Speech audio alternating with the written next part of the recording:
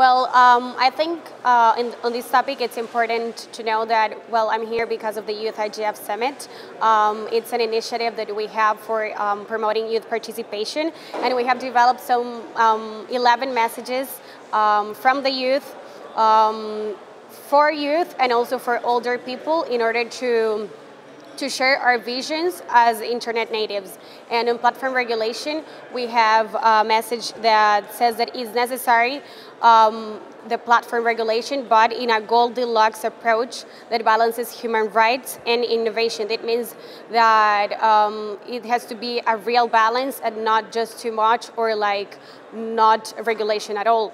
And um, regardless of the platform's um, purposes, um, their governance should be multi-stakeholder and inclusive, transparent, and culturally sensitive.